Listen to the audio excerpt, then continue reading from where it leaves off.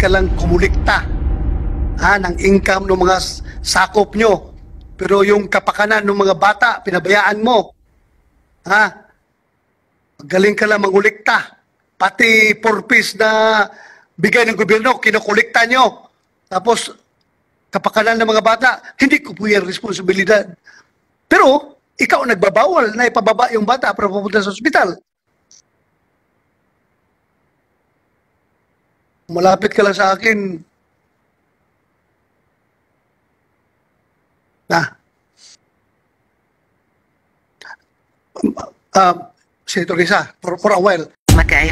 Bago ako dumako sa mga tanong kay Chloe, huling tanong kay Senyor Aguila tungkol dun sa mga baby. Kayo po, may opinion kasi ang NBI, may opinion si Sir Randolph, pati si Mayor ah, Riza. Ah, sa tingin niyo po, bakit ang daming baby na namamatay sa kapihan? Kasalanan po ba yan ng mag magulang nila or meron talagang pagkukulang sa pag-aalaga sa mga baby doon sa kapihan? Hindi ko po alam dahil hindi ko po tungkulin. Hindi parte ng tungkulin ko yan sa bayanihan. Kaya wala po yan sa bylaws namin. Kung tanungin natin yung mga magulang. Well, anyway, si- Mr. Chair, parang classic case ng victim blaming ito. Siyempre naman kung ah, kayo po ay people's organization, kayo pa yung presidente nito, tiniting ng Senyor Aguila o reincarnation pa ng Santo Niño, sigurado may responsibilidad sa mga taong nasasakupan ninyo. ikaw, Lalong-lalo na sa babies, no, Mr. pagkain Chair? kita, Jerry Esquilario, ha? Ha? Magaling ka lang kumulikta ha, ng income ng mga sakop nyo. Pero yung kapakanan ng mga bata, pinabayaan mo. Ha? Magaling ka lang mangulikta. Pati purpose na bigay ng gobyerno, kinukulikta nyo. Tapos, kapakanan ng mga bata, hindi ko po yan responsibilidad. Pero, ikaw nagbabawal na ipababa yung bata para pupunta sa ospital. Malapit ka lang sa akin. Na. Um, Senator Risa, for, for a while, tanungin natin si Yusik Angelo Tapales, the Executive Director of Council for the Welfare of Children. Narinig mo naman lahat ng mga testimonya dito kanina pa. Anong masasabi mo dito ngayon na Yusik? Ah, magandang tanghali po, ah, kagalang-galang na tagapangulo. Ah, kami po ay nababahala sa mga narinig po namin. Ano? Una-una po, ah, yung hindi po pag-rehistro ng mga kapanganakan ng mga bata. Ano? Alam niyo po, sa UN Convention on the Rights of the Child, eh talagang yan po ang isa sa unang karapatan ng bata. Ano? Yung right to be registered immediately after birth. Right to life, and of course, ah, kaakibat po nung right to birth and yung right to have a name, to acquire nationality and to be cared for.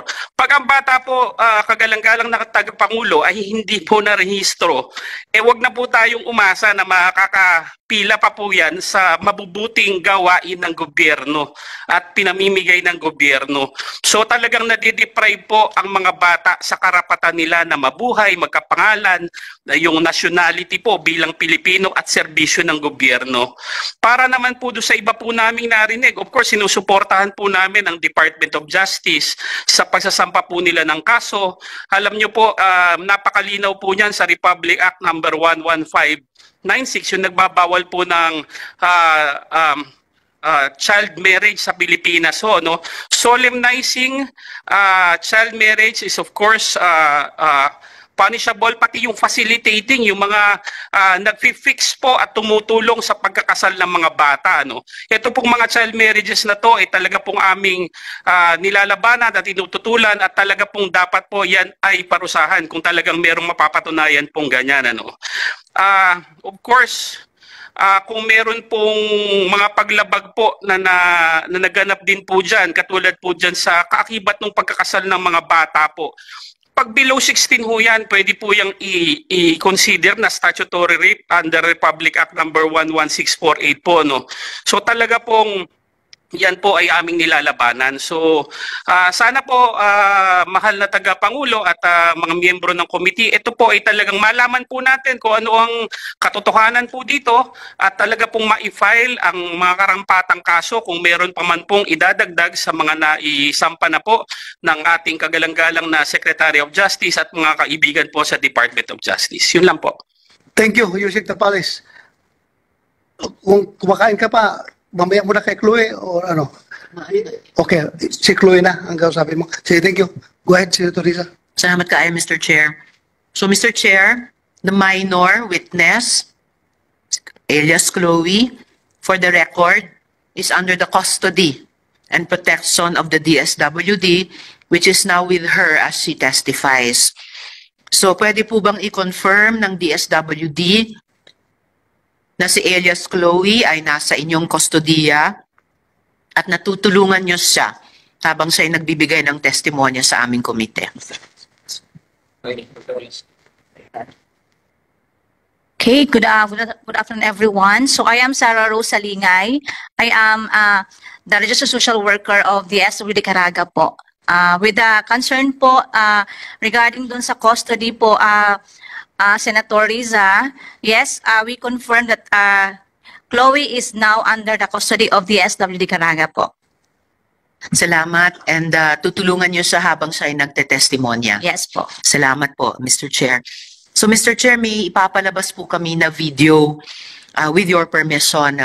I will ask for this video to be played to aid in the testimony of our minor witness. Uh, may I also note that the witness has executed an affidavit with the assistance of the DSWD.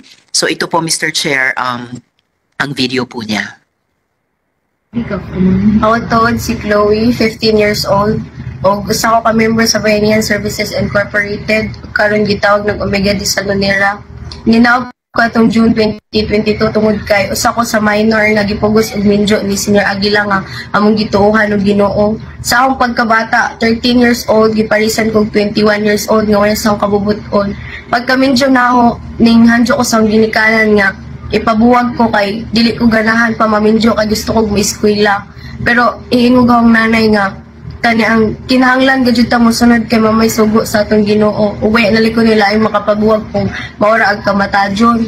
Mo tong nagpahila ko ako kasubot sa gibati nga ingon ana day gadyo dapat ag ilang pagtuo sa Ginoo nga bisag ako nga gayon ani dapat gadyo sila nga motuo kay Ginoo lagi kuno. Mo tong panahon nga gibutang ko sa bahay nilang Jerens o namutana si Just Lucky nga nakuha na ba kuno ko? Or nakigsix na ba kuno nog Lucky? Unja niingon mag Lucky nga waya pa kuno oto giingnan si Diya nga naman waya pa man ninyo kuha nga mga gagmay raman ng inyong asawa. Usa pa authorized na ninyo na ripon kay inyo na mga asawa. Dahil panahon nga gilakan Miss Kwarto kay gusto gadyo nila nga kuhaon na ku- ma- makasix na nog Lucky. Unja dito nga tamin hila ko unja kaingan kog mar- ma-rape ko adto pero madjugani kay ag Lucky aning ko na nga inhilak pud si Jan mo tanan si Jag unsa ko ni Jan sa nganong way dili ko na kumusugot kung giingnan nga dili pa ko gusto maminjo ug ikaw may gusto nang mawa. Kay gaw gad yung gusto makahuman ko eskwela.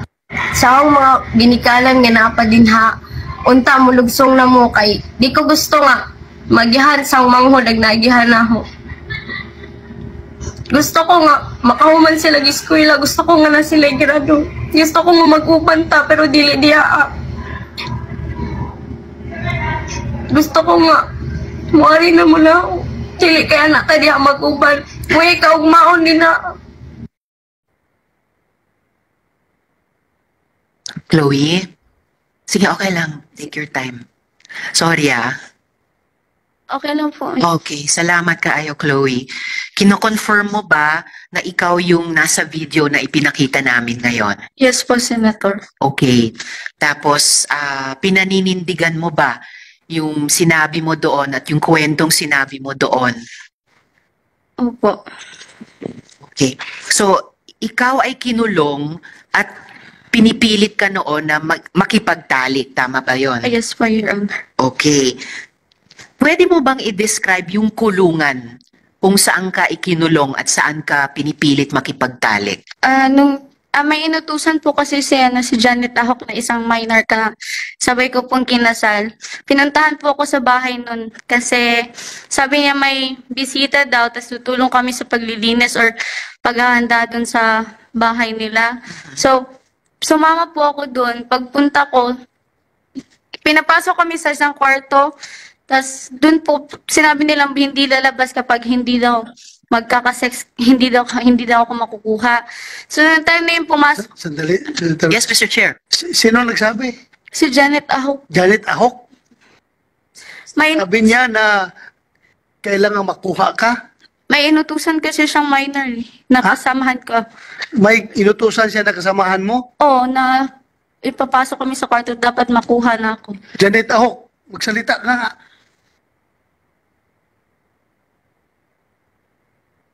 Pinipi, ba, ba- babae ka ba? Lalaki?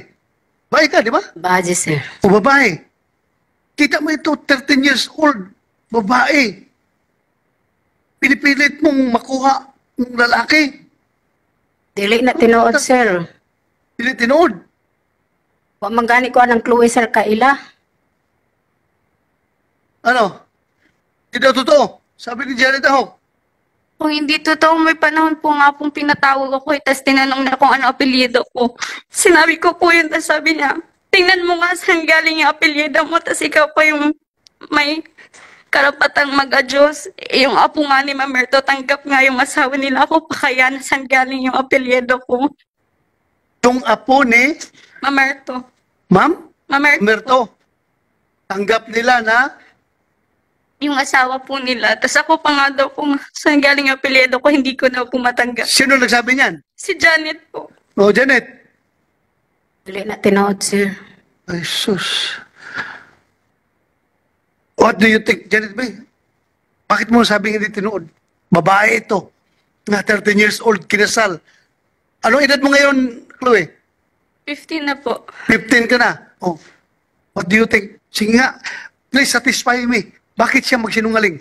Kuya, magko, sir, kahibaw nga na yung mga kasal dito, sir. Wa magikasal na mo dito. Natinga na gani ko sa mga bata, kay nga nung ingon ana ang ilang gipanulti, nga dugay naman na sila dito hinglugsong. Hindi, hindi lang ha, very consistent ha, Janet. Hindi lang siya nagsabi sa pangalan mo, Janet Ahok. Pati pa yung lalaki na pinipilit na makipag-sex sa kinasal sa kanya, ikaw pa nagbigay ng Viagra. Bako, Bina- ko anak sinabi mismo nung lalaki ha, sana nandito ba yan?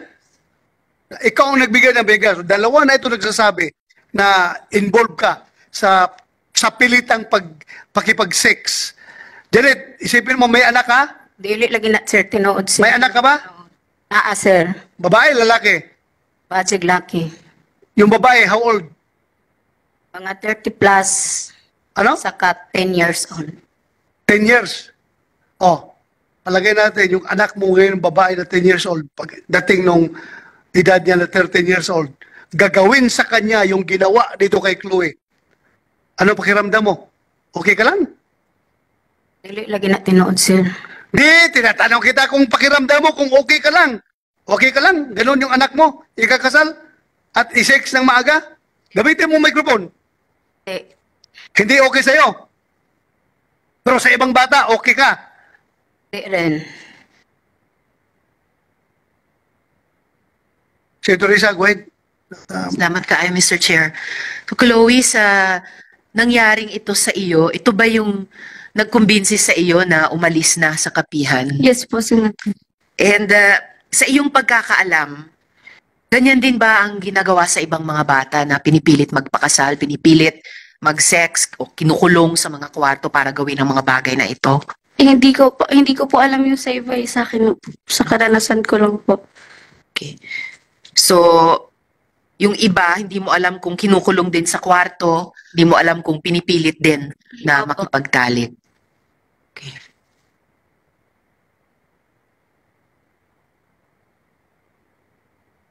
Umberto, Sa- Senator Risa, for a while. Yes, Mr. Chair.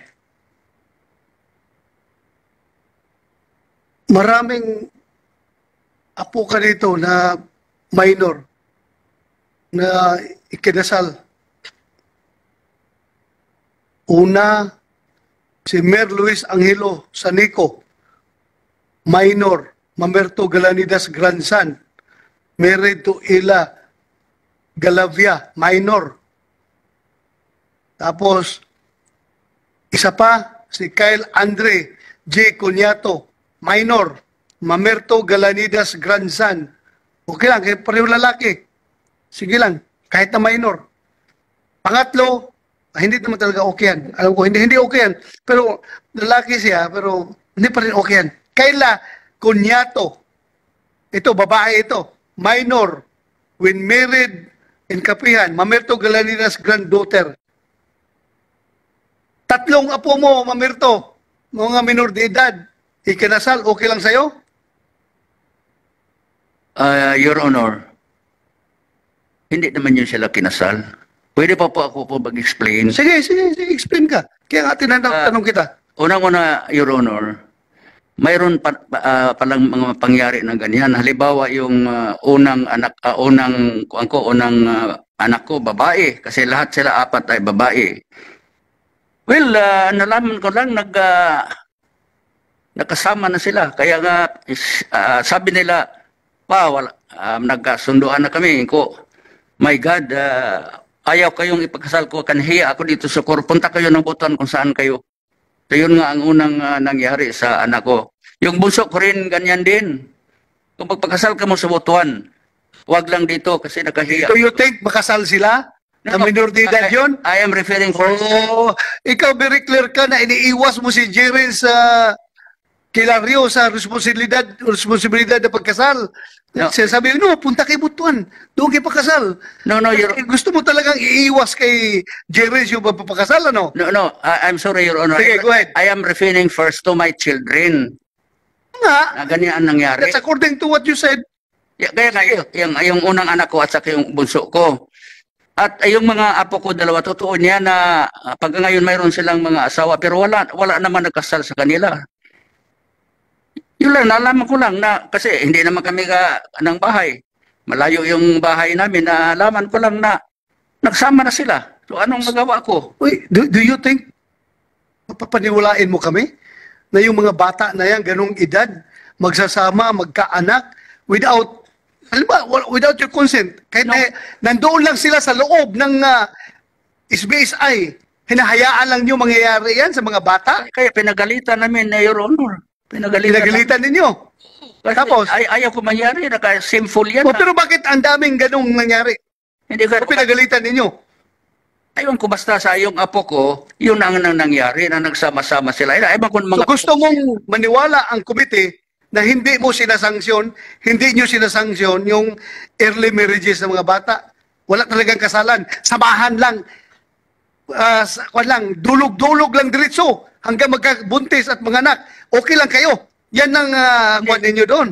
hindi naman okay sa akin. Kaya nga nagalit ako bakit nangyari yun. O nagalit ka, bakit naging umabot ang tatlong anak mo, aapo mo na may- minor de edad, umabot ang tatlo, tatlo. Your Honor, please, hindi ko sila mapigilan kung ano ang magawa nila.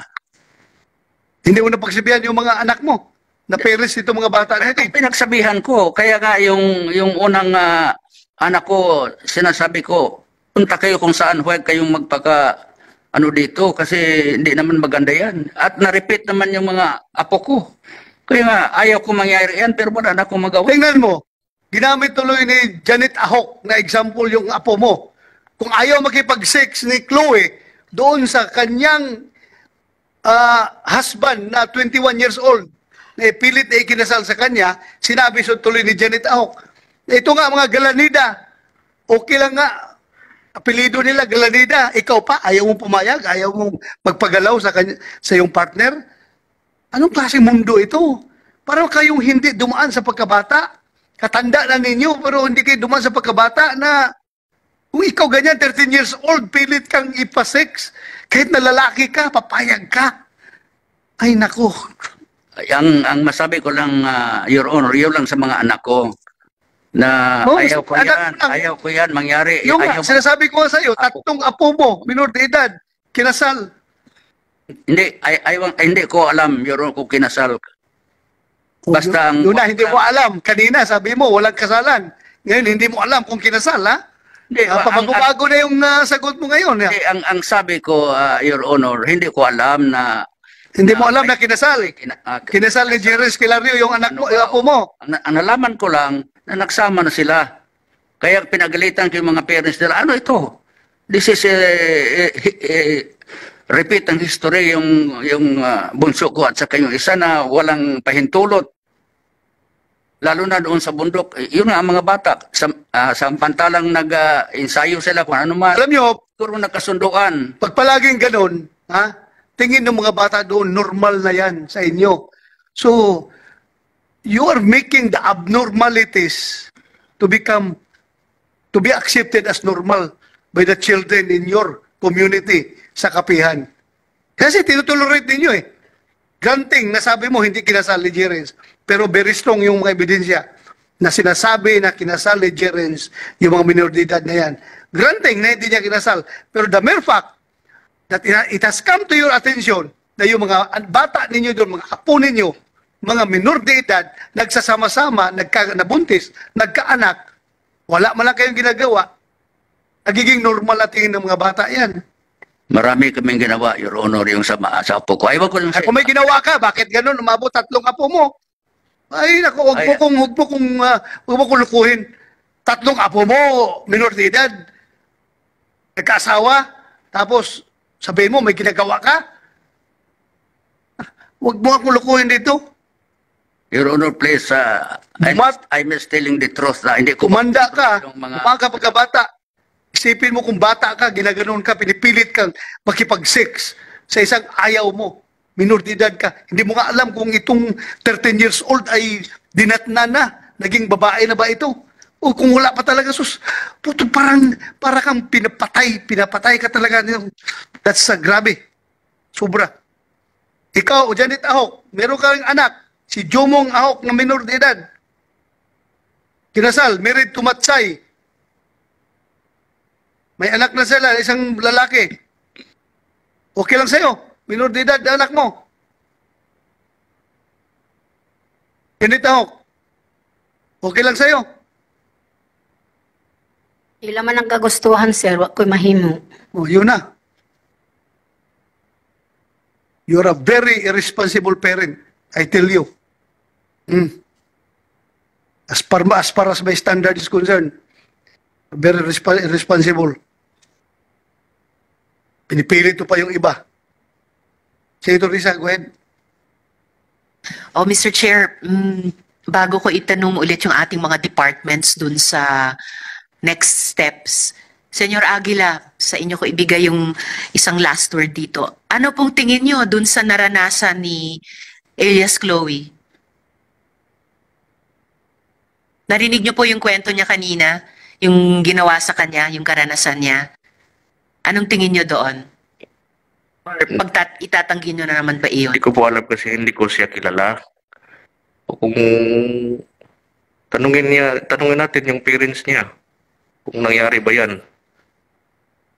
Ang tinatanong ko po, Mr. Chair, kay Senyor Aguila, ay yung tingin nila sa salaysay ni Elias Chloe bilang nasa kustodiya ng DSWD at tinulungan para ilagay yung kanyang karanasan sa kanyang affidavit.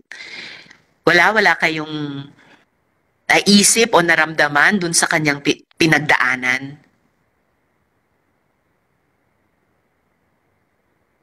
Wala akong alam yan, Senator. ay dapat ang isang Senyor Aguila na reincarnation ng Santo Niño, ng Diyos, dapat alam at dapat may may pagmamalasakit. Pero obviously, kahit dito sa kwento ni Elias Chloe, ah, ay wala. So, ganyan, ah, Mr. Chair. And um, so kung ganon lang, ah, magtanong po ako tungkol sa re- relocation saka reintegration plans